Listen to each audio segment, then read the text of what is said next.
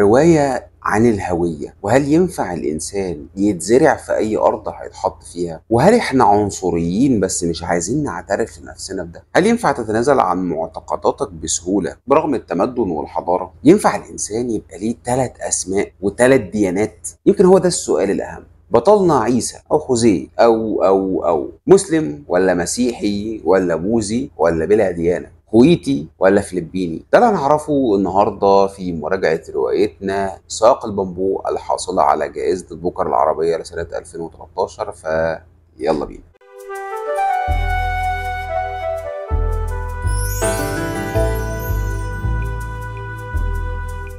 رواية فعلا تستحق جائزة البوكر العربية وأنت عارف إن أنا عندي مشاكل مع الجائزة دي ومش بعترف بكل الجوائز اللي بتديها أو الروايات اللي بتكسب الجائزة. ولكن خليني أعترف بمنتهى الصراحة إن ساقط بنبول الكاتب سعود السنعوسي الحاصل على جائزة البوكر 2013 من دلوقتي بقول لك إنها تستحق هذه الجائزة وبجدارة. أنا متاخر جدا جدا جدا في مراجعة هذه الرواية فهي فايزة بالجائزة سنة 2013 وأنا براجعها في 2024 بعد 11 سنة من فوزها. ولكن الحقيقة لو هقعد 11 سنة تانية عشان أكتشف ضرة زي دي فأنا مش خسران. تعال قبل ما نتكلم أقول لك بسرعة كده تفاصيل عمل النهارده عشان في كلام كتير جدا هنتكلم عليه في رواية النهارده. روايه ساق البامبو للكاتب سعود السنعوسي الفائزة بجائزه البوكر 2013 اتنشرت في السنة اللي قبليها عن دار العربية للعلوم ناشرون عدد صفحات 404 صفحة في النسخة الورقيه ولكن أنا سمعتها بنسخة صوتية عن Storytel والحقيقة النسخة كويسة جدا جدا جدا جدا. مفيش أي مشاكل فيها وأعجبت بيها بشدة. وتعالى أقول لك ملخص القصة ونحرق الأحداث كالعادة. قبل ما نخش في القصة نفسها الكاتب بيحطك في خدعة بيشد انتباهك عشان يزود مصداقية العمل. في الأول أنت بتقرأ مقدمة للمترجم. الله. مترجم إزاي؟ مش الكاتب هو سعود السنوسي الكاتب الكويتي اللي بيكتب بالعربي. بتقرأ مقدمة لمترجم بيقول لك إن هو ترجم العمل ده من الفلبينية بناء على مذكرات كاتبه الأصلي للغة العربية ولم يتدخل في التفاصيل اللي فيه وملوش أي وضع يد في الموضوع. وناقل للموضوع نقل أمين. حد انت يبدا الشك يلعب في عبرة. الله إزاي ترجمه وإزاي الكاتب سعود السنوسي؟ طب إزاي العمل مترجم؟ ومين المترجم؟ هنكتشف بعدين إن المترجم ده واحد من الشخصيات الجانبية في القصة اللي بيقابلها بطل الرواية بتاعتنا خوزيه أو عيسى الطروف بيحكي لنا فيها معاناته مع التفرقة العنصرية الناتجة عن نسبه المختلط. والمذكرات دي كتبها في مرحلة متأخرة من الرواية وتسلمها المترجم اللي هو صديق للبطل وترجمها من الفلبينية إلى العربية الفصحى. بطل روايتنا هو عيسى الطاروف كما يبدو من اسمه هو اسم عربي كويتي صرف. ولكن الحقيقة إن بطلنا هو مختلط من أب كويتي وأم فلبينية. بنبدأ قصة حياته في فترة كبيرة من الرواية في الأول لمعيشته أثناء طفولته في الفلبين والأوضاع المتردية اللي هو عايش فيها وأسرته اللي مكونة من جد يقارع الخمر وبيضيع أهوال الحرب اللي هو عاشها في مصارعة الديوك. وبقية العائلة يا إما بتشتغل في مهن متواضعة يا إما بعضهم بيشتغل في الدعارة المقننة. جو مسموم موبوء. الأم قبل ما هو يتولد بتهرب منه وتروح تقدم لشغل في دولة عربية اللي هي الكويت. في الفترة دي هي بتشتغل عند أسرة والد عيسى اللي ينتمي لعائلة الطاروف المرموقة. أو للدقة قبيلة الطاروف فالحياة القبلية برغم التمدن والعيشة اللي إحنا عايشينها في الحضارة دلوقتي ما زالت تسيطر على المجتمع الكويتي. طبعا أنا بنوه إن ده كلام الكاتب في الرواية مش كلامي أنا. أنا عمري ما رحت الكويت وما أعرفش الدنيا ماشية فيها إزاي ولكن الكاتب الكويتي هو اللي بيقول الكلام ده عن المجتمع بتاعه. الأب ده أقرب ما يكون إلى متمرد شاعر وصحفي وكاتب مؤلف روائي وبطل من أبطال حرب التحرير في أيام الغزو العراقي. بيمر في مرحلة تمرد على التقاليد. بيقع في حب الفتاة اللي بتشتغل عندهم والدة عيسى الفلبينية. وبينتج عن الحب ده الطفل عيسى. ولكن فجأة بتحصل تطور في الأحداث يختفي والد عيسى وتضطر الأم إنها تاخد الطفل وتسافر بيه للفلبين عشان يتربى وسط أسرتها. ولكنها طول الوقت بتزرع جواه إنه كويتي مش فلبيني ينتمي إلى عصب أبوه. هناك في أرض الثراء عكس الفقر المدقع اللي إحنا عايشين فيه هنا. هناك أنت تنتمي لعائلة مرموقة لها اسم وسلطة وهبة بل بعضهم بيشتغل في السياسة. بعكس الحياة الدنيئة اللي إحنا عايشينها هنا. هناك انت ليك أصل وبلد وعيلة من أكبر عائلات البلد. فبينشأ الطفل على الحلم. الحلم إنه يرجع لبلد أبوه ويعرف مصير أبوه الغامض. اختفى فين؟ ليه أخباره اتقطعت؟ أثناء بقى الحلم ده وسعيه لتحقيقه بيسعى لتحقيق ذاته عبر البحث عن الانتماء والهوية. هو هوزيه ولا خوزيه ولا عيسى ابن راشد الكويتي ولا الأم الفلبينية جوزفين وإزاي نشأت العلاقة اللي كانت قايمة على الحب بين طرفين متناقضين زي الراجل الكويتي المتعلم المثقف اللي بيشتغل مؤلف ومش لاقي حد يتكلم معاه وحد يسمعه وحد يفهم أفكاره؟ وبين الفتاة اللي مش فاهمة لغته بشكل كامل أصلا. وهل هو ابن حلال ولا ابن حرام؟ ناتج عن جواز ولا عن علاقة محرمة؟ وهل هيروح الكويت فعلا؟ أقدر أقول لك آه إن عيسى هيروح الكويت ولكن كل أحلامه هتتحطم على صخرة الواقع والمجتمع المجتمع اللي يتلخص في جدته.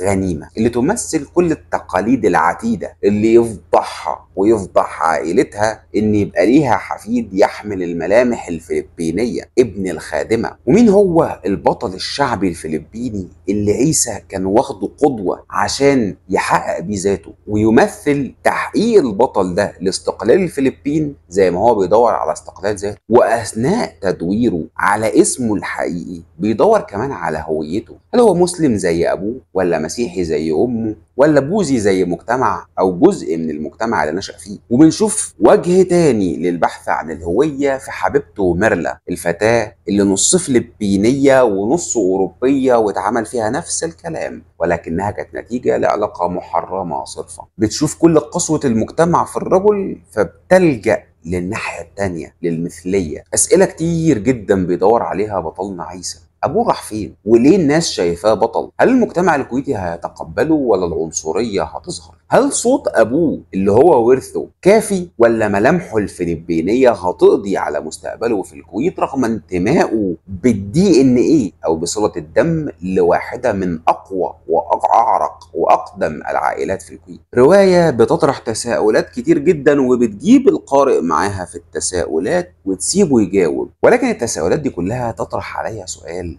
ممكن أسأله لك انت هل أنت قريت رواية لكاتب بينتقد المجتمع بتاعه بهذه القسوة؟ بينعت المجتمع بتاعه بالعنصرية بشكل صريح ورغم ذلك تاخد جوائز في نفس المجتمع ده وتكسر الدنيا وتتحول إلى مسلسل أنا لسه ما شفتوش الحقيقة ولكن الناس كلها بتقول إن هو ناجح. قولي في التعليقات وأنا بعد الفيديو ما يخلص هنزل نكمل كلامنا وتعالى نروح للنقد أو المناقشه عشان عندنا كلام كتير هنتكلم عليه.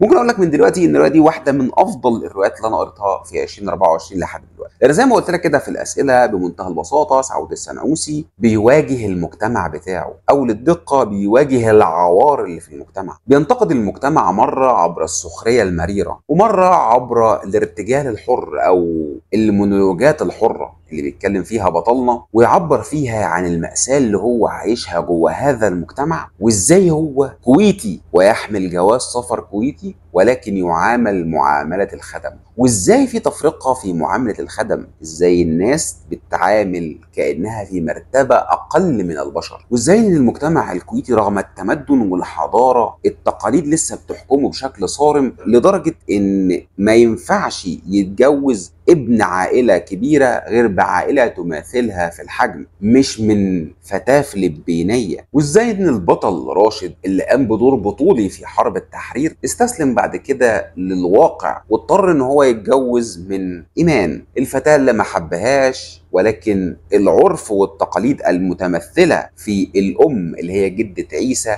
غنيمة لما ضغطت عليه وخلف منها أخت عيسى الوحيدة خولة اللي بتمثل الحاجة الحلوة الوحيدة في الرواية على عيسى طبعا. شخصية الأم أو الجدة غنيمة الثري دي الخارجة من كل المقاييس المعروفة في الكتابة. شخصية أقرب إلى التجسد تمثل القوة والصرامة وازاي إن التقاليد بتضغط عليها فتغطي الحنو اللي جواها ناحية ابنها وحفيدها. ورغم كده تعبانة وعظامها هشة. هل أنت فاهم الرمزية المقصود بيها الموضوع ده؟ إزاي هي تتطير أو بتتشائم من ملامح عيسى اللي ورثها من امه الفلبينية؟ ده اللي خلاني أقول لك إن الشخصية دي بتمثل رمز للمجتمع الكويتي نفسه.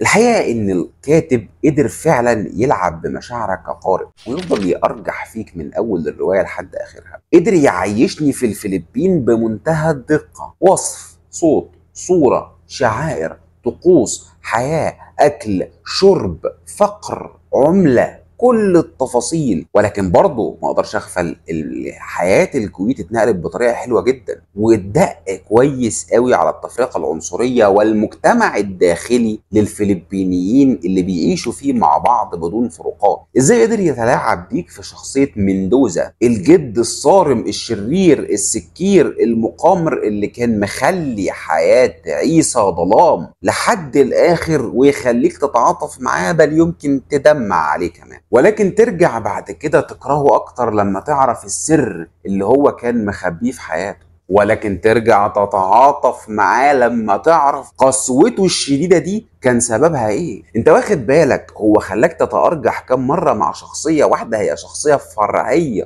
ما بالك بشخصية عيسى؟ وتقلباته النفسية في الانتماء ما بين المجتمعات المختلفة وتقلباته في الميول للأديان المختلفة وحيرته في البحث عن الحقيقة ما بين الإسلام والمسيحية والبوذية. شخصية خولة الحاجة الحلوة في حياة عيسى ولكن في نفس التوقيت بتقف عند حاجز معين ما بتقدرش تتجاوزه. عماته اللي واحدة فيهم بتمثل السلطة الغاشمة رواية فيها أكتر من حبكة وأكتر من عقدة وأكتر من مشكلة وكلهم اتلعبوا حلو جدا. والكاتب قدر يمسك بتفاصيلها من الأول للآخر ويجاوبك على الأسئلة اللي هو عايز يجاوبك عليها. ويسيب لك السؤال الرئيسي بتاع الرواية ويسيبك أنت تقرر عبر مشهد نهاية ملحمي قايم على ماتش كورة ما بين الفلبين والكويت. وبيسألك سؤال لو أنت مكان شخصية عيسى هتشجع أني فريق؟ إزاي كان عنده الجرأة إن هو يضرب المجتمع الكويتي بمنتهى القسوة يجلد نفسه؟ لأن هو شخصيا كويتي في رواية تصل إلى جوائز كبيرة وتترجم يعترض على الممارسات اللي هو ممكن يكون جزء منها بشكل مباشر أو غير مباشر يعترض على التفرقة ويبين لك التفرقة دي في أدق التفاصيل.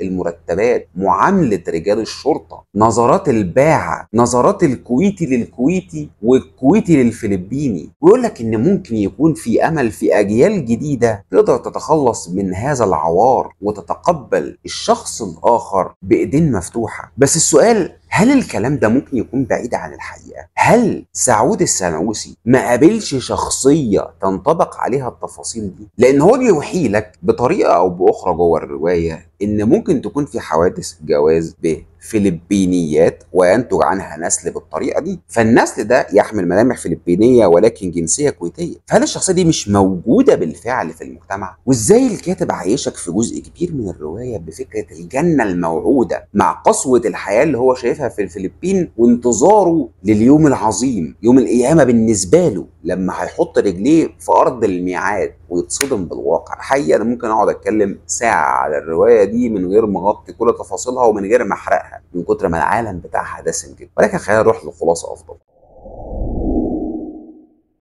عمل قوي دسم أنا بالنسبة لي مش شايف فيه أي عيوب. رواية أقرب ما تكون إلى الكمال.